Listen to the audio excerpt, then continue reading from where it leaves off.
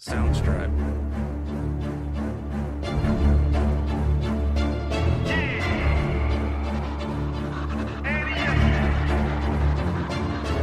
I can't accept the loss, I'm hard headed.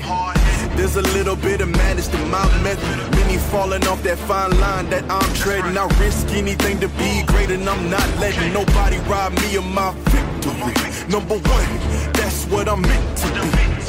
By any means, only thing that makes sense to me, I can make nice or make history. I got that dog in me, yeah. Turn me up. Big energy, got the crowd going nuts. I got that dog in you. And I take on it, don't know, know I got that dog in me, yeah. I'm my bite, no bark, I could rip your squad up that dog in me. So what's up? So what's up? For the move over. Up that mediocre out the man since cruising around in the stroller. I got I, my veins like a cutting for the wire. Show you how I'm built. A little closer. Eh?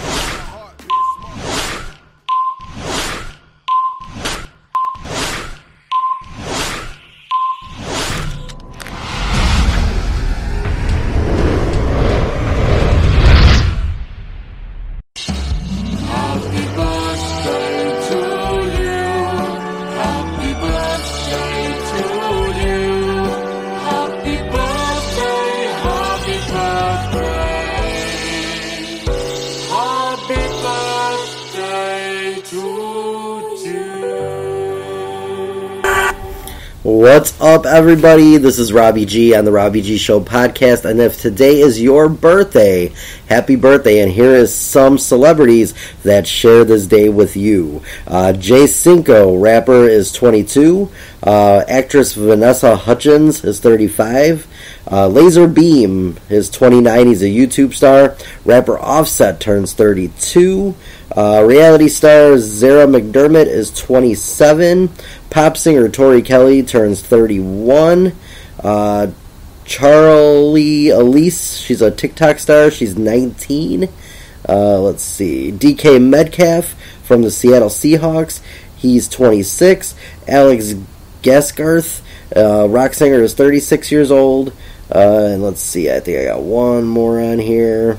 Reality star Miriam Musso is 29 years old today. So those are some celebrities that are celebrating birthdays today uh, with you. So if it's your birthday, happy birthday, and of course, happy birthday to all the celebrities out there in the world too. Uh, today, I'm going to talk about a few different topics, mostly all sports today. There's not a lot of TV movie news. Uh, I will have some new movies coming out uh, this week later in the show, uh, but we've got some stuff to talk about today. NCAA bowl predictions, uh, the some Chicago Bulls news. Uh, where does CM Punk sign this week? And I've got the Week 15 NFL predictions, and we're going to kick it off with the state of the Chicago Bears and playoff chances. And it's crazy that we're talking about that with four games left on the season. We're still talking about the Bears having a shot at five and eight to make that seventh wild card spot. But it's true, there is a chance, just like that Jim Carrey meme. So you're telling me there's a chance? Yes, there is. There's a chance that the Chicago Bears could still make the playoffs if they win out. And there's a few other scenarios that go with it, but the important thing right now is that you have to win out if you're the Chicago Bears. Big news though. I heard rumors, and this isn't official yet. They have not made this official. Jaylon Johnson, they offered him a $93 million contract. And he hasn't signed it yet, but he's supposed to sign it before they go to Cleveland this weekend. So, fingers crossed, Jaylon Johnson's going to be a Chicago Bear and locked in. I believe it was four years, a four year contract. But that is crazy if we can lock him into the defense. Because obviously, this offseason they would have franchise tagged him, but I think it's better to just offer him a big deal now and just be done and have no drama going into the 2024 season. Because whether we make the playoffs or not, the chances of this team making it to a Super Bowl and winning it is very slim. I believe if we do squeak into that last wild card spot, it could be a one and done. Maybe not though. Weirder things have happened. Wild card teams that have made it at nine and eight. Well, actually, it wouldn't have been nine and eight at that time because there was only seventeen games. Um, but before, we've seen wild card teams do it. the New York Giants with Eli Manning. And not only did he win a Super Bowl, but he beat Tom Brady in the Super Bowl. And they were not a wild card seed at the time. They were the number one seed in the AFC. So yeah, I'm telling you now, the Bears, any team that makes the playoffs, it's a brand new start. Once you make the playoffs, your record is now zero and zero. The record only gets you there. Once you're there, you are now a zero-zero record with all the teams. Doesn't matter if they're a wild card team, doesn't matter if they're a divisional winner, doesn't matter. You still have a shot to win. So let's look at where the standings are right now in the NFC because I took a screenshot of this and I was actually very shocked by it because with the Bears sitting at 5 and 8, you would think, oh, you know, they're middle of the road, they're not going to make it, you know, and everything. But right now, honestly, the NFC is wide, wide open. And that's the scary part. So let me find this uh, little picture that I got, and I'll tell you where everybody stands as of right now. I'll let you know. So as of right now, the number three seed is the Lions. The number four seed is the Buccaneers at six and seven. Now, if you win that division, and here's the sad part: at six and seven, the Buccaneers lead their division and would have a playoff home game. Um, but here's the five, six, and seven seeds: the Dallas Cowboys at nine and three, the Minnesota Vikings are six and six, and the Green Bay Packers are six and six. Right behind them are the Seahawks at six and six, the Rams at six and seven, the Falcons at six and seven, the Saints at six and seven at number eleven, and we're number twelve at five and eight, which means we are literally behind the Saints, the Falcons, the Rams, and the Seahawks for one of those last two wild card spots. But here's the fun scenario. The Bears technically are not even out of the division race right now. Because we split with the Lions. So, because we split with the Lions, we also split with the um, Minnesota Vikings. So now it's going to go based on division record. So that would probably most likely favor the Lions. So if we ended up with the same record as the Lions, because Lions are going to lion, and we've seen this happen before. Everybody thinks, oh, the Lions are so good. They are good on paper right now, but they are a team that could choke. Now, do they have enough to win one more game in the next four? Most likely. They're going to win out at least one game out of the four that they're playing. But I'm not worried about the Lions because the division is most likely going to be theirs. All they need really is one more win, and they've got the division locked up. So as long as they don't just have, go on a complete Lions skid and lose every game out, which I doubt they will. I do have them predicted to, I believe, I'll, I'll let you know my predictions in a few minutes. But we've got a crazy, crazy weekend coming up in football, so I'll talk about that in a few minutes. But the Lions, I'm not worried about right now. What I'm worried about is the Packers and the Vikings, who are sitting at the six and seven seed in the wild cards. Those are both wide open. Okay, take Dallas out of the equation. Dallas is nine and three. They win one more game, they're done. They've already locked in a playoff spot then. But like I said, right now, the Rams could lose games out the Falcons can lose some games, and if we beat the Falcons in a few weeks on New Year's Eve, then we would have the tiebreaker with them. So that's a good thing. The Saints, we won't have the tiebreaker with them. Um, Falcons, we could. Seahawks, we didn't play the Seahawks this year, so that just goes based on the record and the conference and everything. But basically, all we really need is for these teams to lose two out of the four games that they play. Because if the Bears win out, the best way for the Bears to get a wild card spot would be to win out the four games. You've got this weekend, you're playing the Browns. That's a must win. This is a playoff game for Justin Fields. He has to come out, he has to be sharp. The defense has to be on point, and this is why I hope Jaylon Johnson signs that contract because he's going to have that renewed passion like he's been having his whole career for the Bears. I watched a little skit with him, not a skit, but like they were talking on the sidelines, and he was excited and he said he loves waking up knowing he's a Bear. So if you love waking up as a Bear, sign this contract. Do it. Get here. Stay here. We want you here. We're offering you a big deal. Take it. $93 million. You're a very rich man to play the sport you love on the team that you claim that you love. Stay Jaylon Johnson. Be a Bear and go out there and play lights out on Sunday against the Browns. Because you win that game, then you've got the Cardinals on Christmas Eve. You've got the Falcons on New Year's Eve, and then you play the Green Bay Packers. Now, here's a funny scenario. If the Packers lose their second to last game against the Minnesota Vikings, and the Bears beat the Packers in that last game, the Bears would actually have a better division record than the Packers would this year. The Packers will be 2 and 4. The Bears will be 3 and 3. So that means we get the automatic tiebreaker with the Packers. Amazing. This is a scenario that people cannot believe, but it's very doable. The Bears could win out this. The Packers could lose enough games. If you look at it right now, all these teams have six wins. If they split and win two out of four, and they just win two out of four, that would only put them at eight wins on the season. The Bears went out their nine wins. And this is why these losses last those couple of games to Denver and Detroit hurt. Because if the Bears would have won those games and finished those games out and won, we'd be sitting at seven wins right now. And we would be sitting in that number six spot where the Vikings are. The Vikings and Packers would all be behind us. So the Vikings would have the seventh seed, and we would be the sixth seed. The Packers would be on the outside looking in.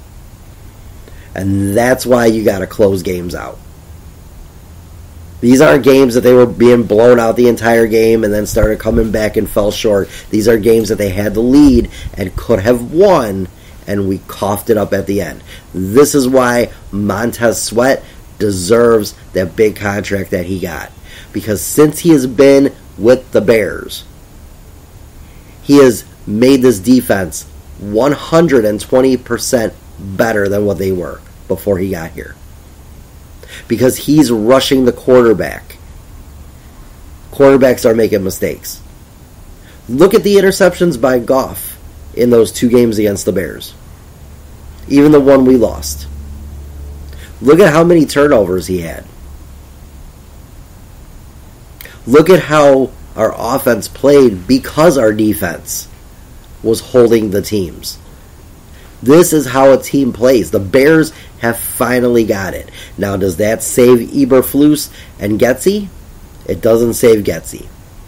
But it does save Eberflus possibly because he did turn that defense around. So my thing as Ryan Poles is to sit down with Eberflus at the end of the year and tell him, as long as you're running the defense, you're going to stay for another year. We'll see how you do next year. If you start slipping, we're going to get you an even better team. Justin Fields is saying, I don't want to hear the crap about Caleb Williams. He's a crybaby. I don't like him. I don't want him here. He would definitely be a cancer in the locker room. He's already proven that by the way he's talked. I want part ownership in a team that I go to. Kid, you know that's not going to happen. That's not even allowed in football or any sport. Michael Jordan could not even play and be an owner. Does anybody remember that he had to give up his ownership of the Washington Wizards to go back and play to bring fans to the stadium? That's why he came back. It wasn't because he wanted to play. He had to play. He needed butts in the seats because he wanted to make money later on. So he went, he played for a year, and he went out there and he brought in a fan base, but he could not be an owner at the same time. He just couldn't be. And that's just how it goes. So no, if I am Poles, I am firing Getsy. I don't care if you went out and make the playoffs. He still got to go because where were you the beginning of the season? Why weren't you playing to Justin Fields' strengths at the beginning? All these people, Justin Fields can't read a defense. He read it pretty decent on the fourth and 13, didn't he? When they jumped and he snapped it right away. That was reading the defense. He can't throw from the pocket. That was a very good throw from the pocket to an open DJ Moore. He knew exactly where he was going and he threw it right away. Justin Fields is the guy. And next year, if you build around him, it will happen. Now, speaking of that, Marvin Harrison Jr., is he going to become eligible for the draft? He doesn't know yet. He may stay in Ohio State. He said he wants to win a national championship in his senior year with them, and he wants to beat Michigan. Probably not going to happen. If I'm Marvin Harrison Jr., I'm taking my route in the NFL now. You're not going to beat Michigan, and you're not going to win the national championship. And I know all my Ohio State fans aren't happy with that comment, but that's just how I feel. I'm a Michigan guy. Always have been, always will be, and I'm telling you now, Michigan isn't going to lose to Ohio State, and they are not going to win the national championship. So if I'm Marvin Harrison Jr., I'm going to the NFL. And I'm going number one to the Bears.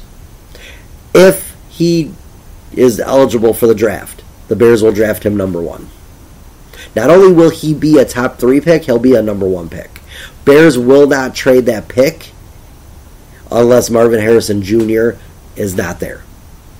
If he does not, stay, if he stays senior year and he leaves and he doesn't leave for the NFL, Bears are going to trade. And this trade came into my phone yesterday, and this is amazing.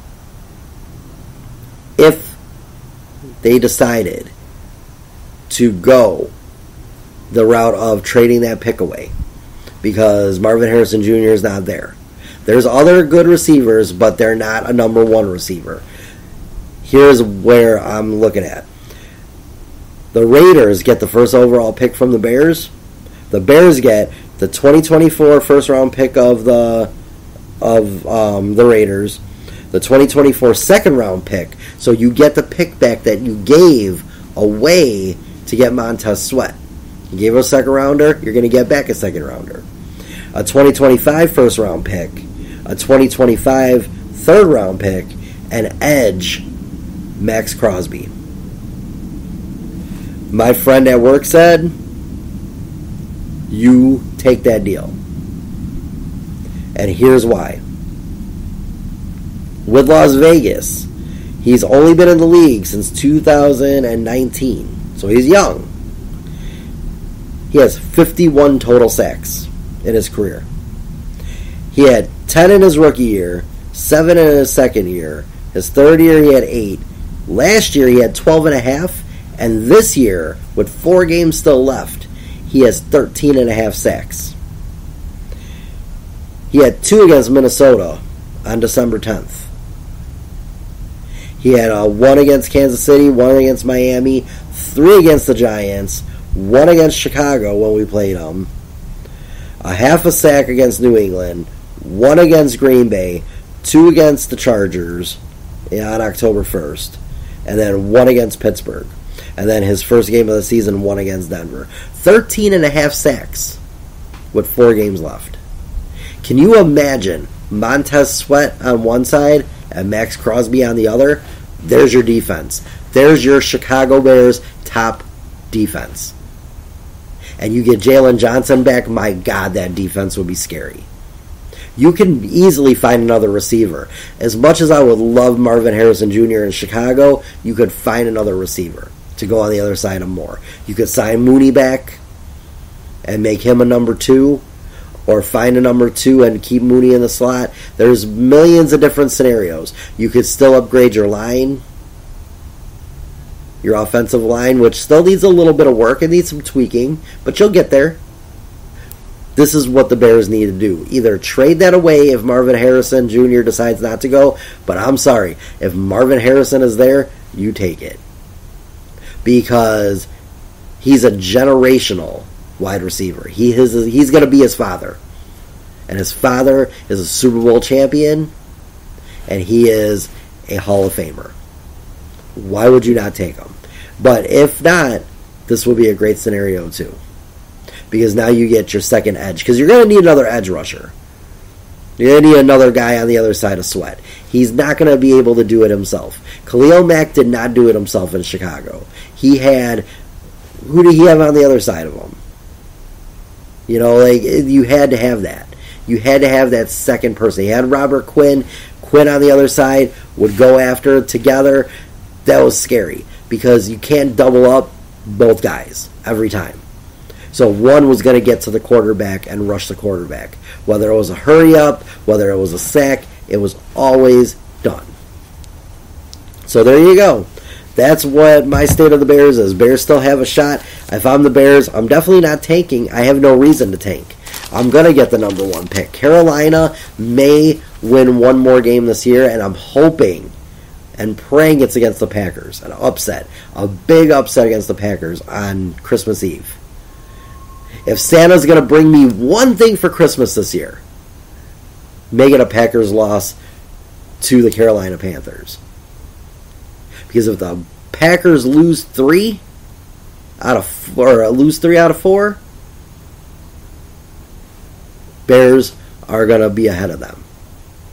Because the Bears are winning at least three out of four. At least, at minimum, they're winning three out of four. They're beating the Packers. The only game I'm a little worried about is this weekend. But other than that, I'm fine. I think Justin Fields is going to have a great season. But let's move on to the Week 15 predictions. Last week I went eight and seven.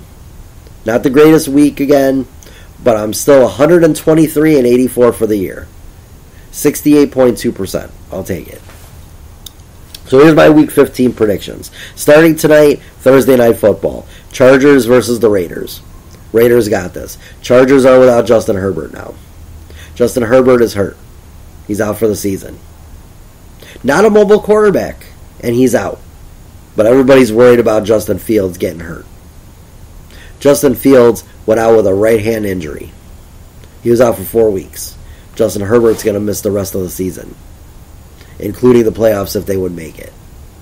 So there you go. So it's going to be Raiders in that one. Saturday, we have football. Thursday, Saturday, Sunday, and Monday this week.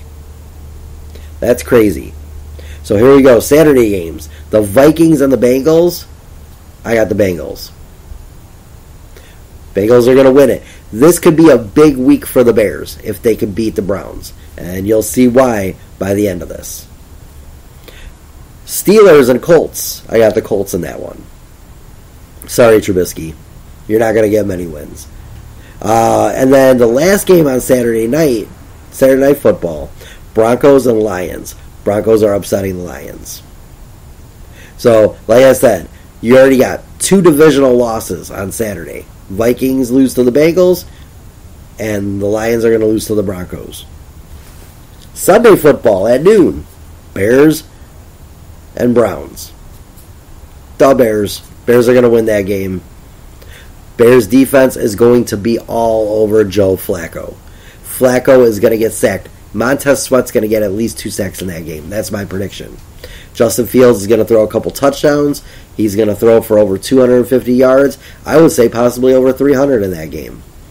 He's going to eat the defense alive. Even though they do have a good defense, I think he steps up his game in this one because he knows this is it. He knows the scenarios. He knows they need to win. And if the Vikings lose and if the Lions lose on Saturday, like I said that they would, Bears know they need that win. Falcons and Panthers. Falcons are going to beat the Panthers. Uh, Bucks and the Packers. Tampa Bay Buccaneers with a big upset over the Packers. Would that really be an upset though?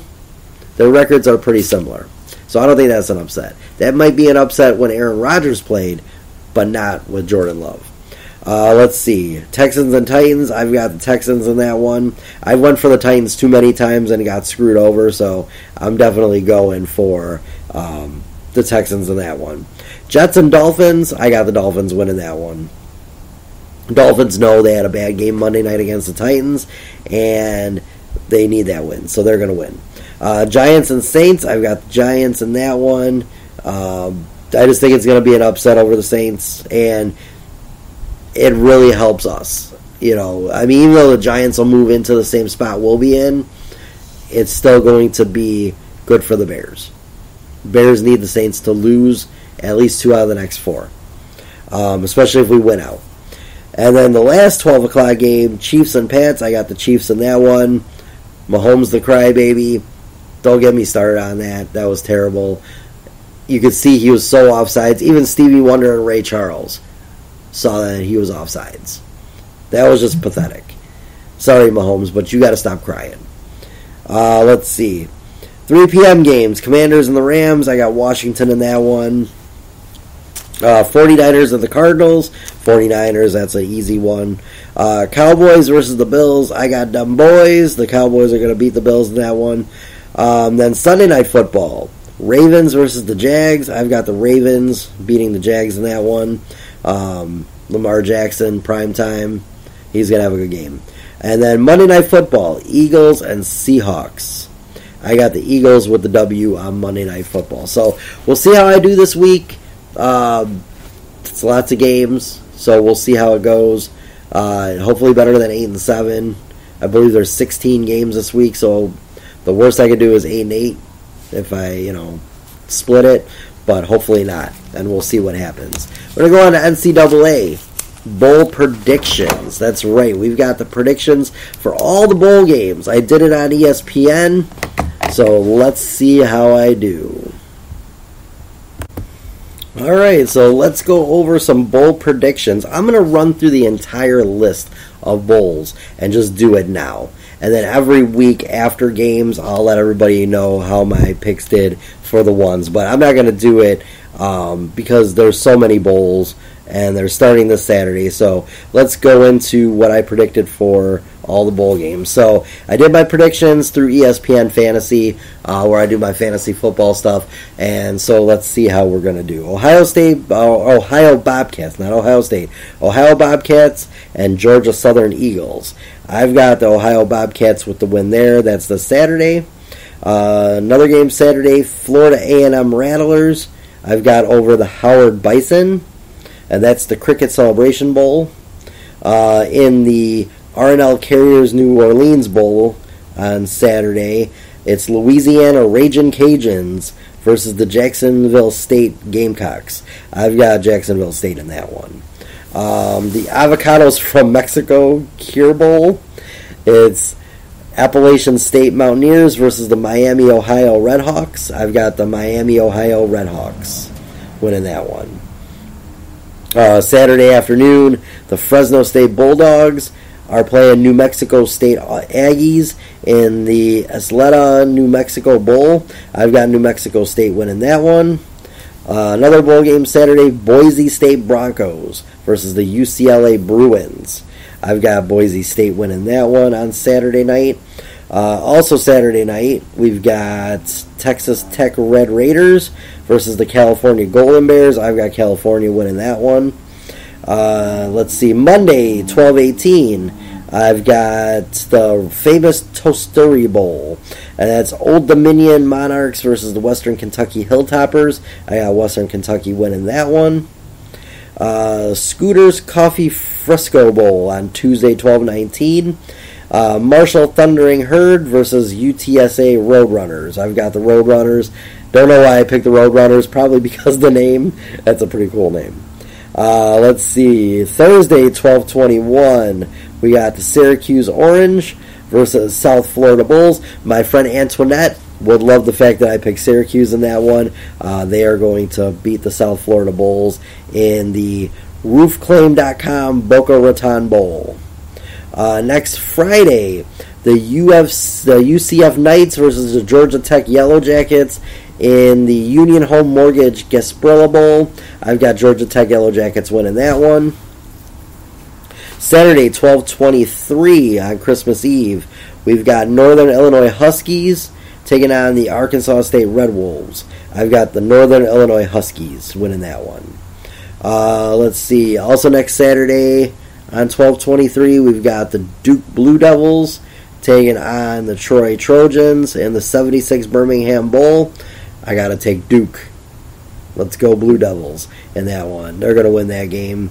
Uh, let's see. Next Saturday, Air Force Falcons taking on James Madison Dukes in the Lockheed Martin Armed Forces Bowl. And I've got the James Madison Dukes in that one.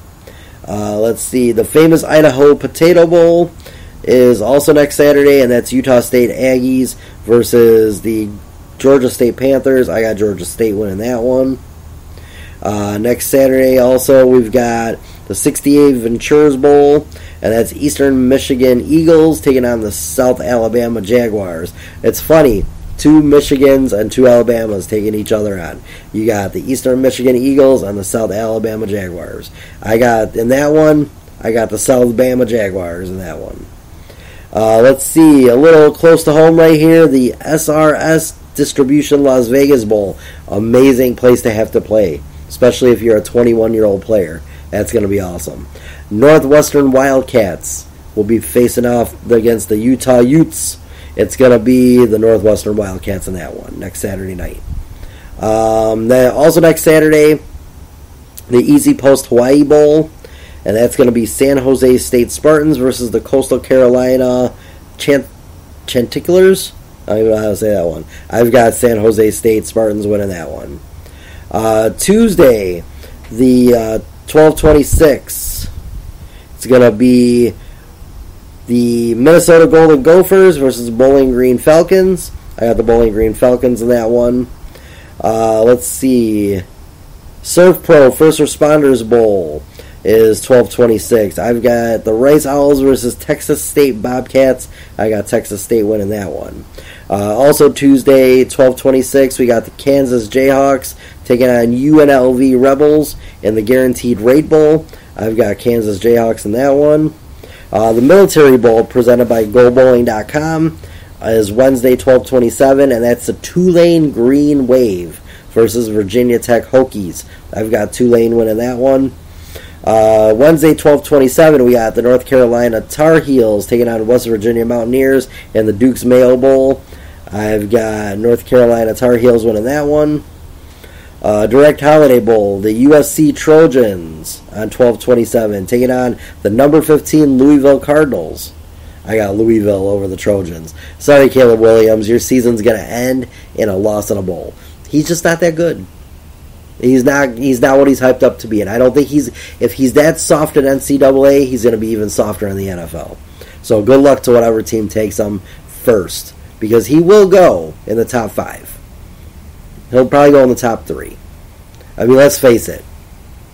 The Bears aren't taking him. Number two will most likely take him. So we'll see what happens. But yeah, so USC Tro- uh, USC Trojans are going to lose to the Louisville Cardinals. Uh, the TaxAct Texas Bowl. Uh, we've got, and that's twelve twenty seven. We got the Oklahoma State Cowboys on the Texas A and M Aggies. I got Texas A and M in that one, even though Oklahoma State Cowboys were ranked number twenty. Uh, let's see the Wasabi Fenway Bowl, and that is Thursday twelve twenty eight. We got Boston College Eagles to get on SMU Mustangs. I got the Mustangs with that one. Uh, let's see Miami Hurricanes playing Rutgers. In the Bad Boy Mowers Pinstripe Bowl, I got Miami Hurricanes. Shout out to Dwayne the Rock Johnson for that one. Uh, let's see, Pop Tart Bowls.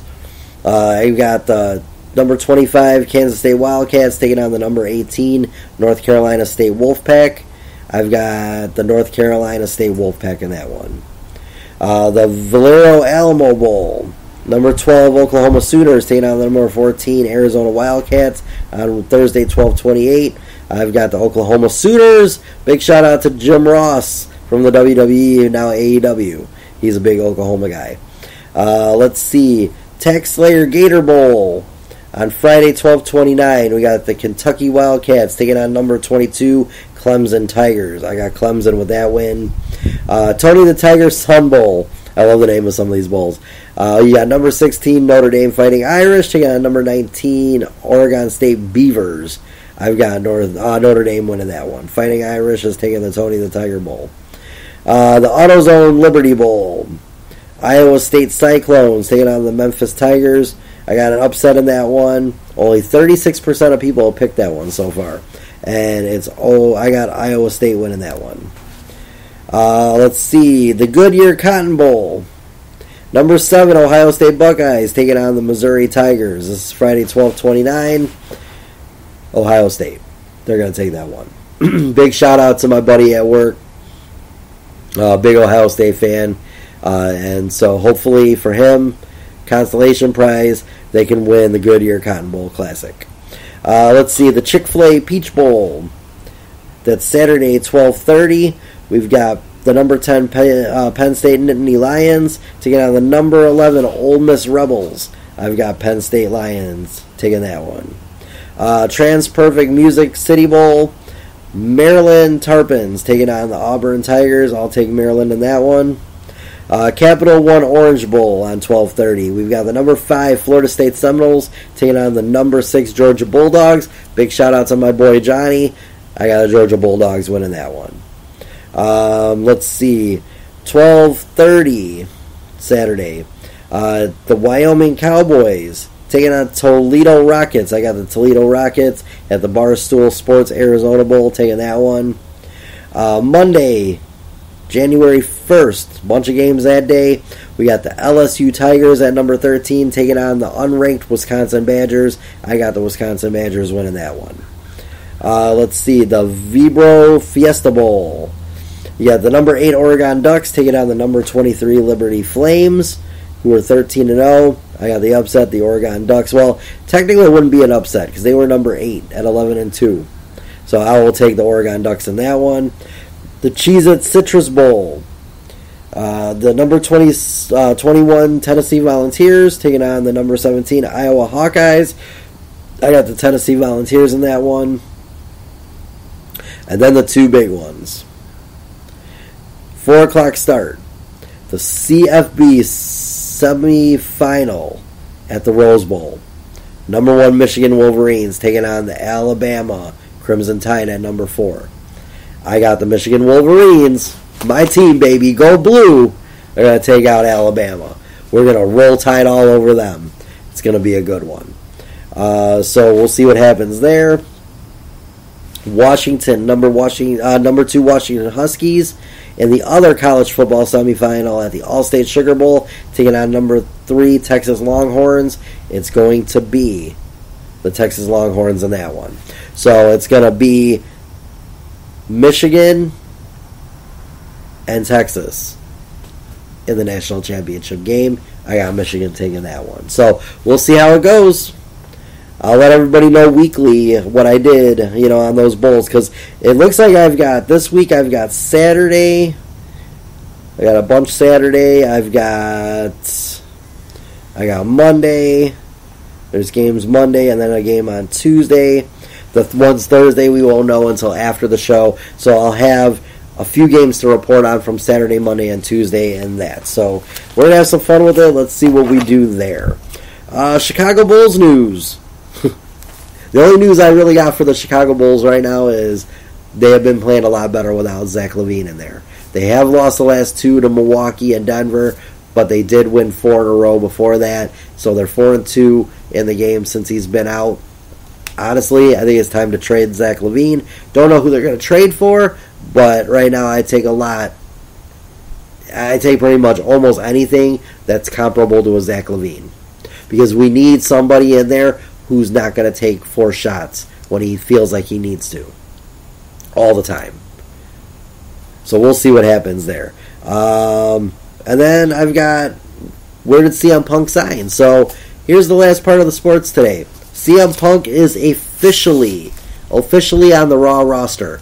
That is awesome. I knew it was going to happen. I figured he would go there. And I'm not mad about it at all. I'm excited. And the fact that Seth Rollins came out right afterwards and cut that amazing promo. If you haven't seen the promo between CM Punk and Seth Rollins, go watch it.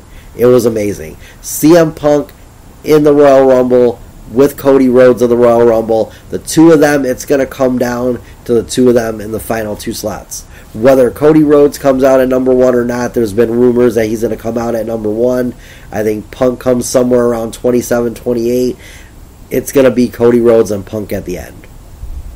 And we're going to see one of them win the Royal Rumble and one of them is going to win Elimination Chamber. Most likely, Roman Reigns will be in the main event, main event of WrestleMania, which is night two, um, to close out the entire weekend. So my guess is Cody Rhodes will win the Royal Rumble and challenge Roman, and then CM Punk will win Elimination Chamber in Canada.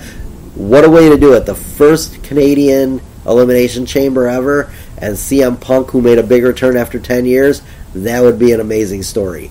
And then he challenges Seth Rollins at Mania. Your two main events are pretty much, I think, sewed up. Everybody says, well, what if Drew McIntyre wins at this day one Raw that they're going to do? It's not, I don't think it'll happen. I'd be shocked if we see that. So yeah, I'm excited for where they're going to be going on Monday Night Raw with this.